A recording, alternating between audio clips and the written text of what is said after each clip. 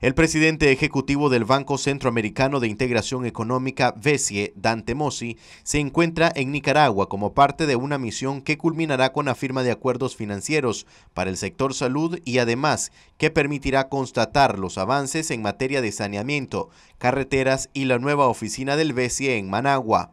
Según publicaciones del organismo regional, MOSI recorrió la construcción del nuevo hospital de Chinandega, donde la obra cuenta con un avance físico de 72,6% y se estima que una vez finalizada beneficia a más de 433 mil habitantes.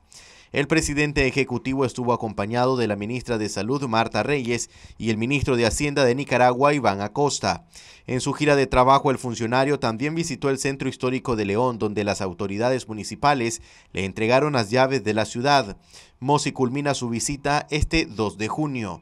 Cabe mencionar que durante esta visita no hubo acceso para los medios de comunicación independientes de Nicaragua.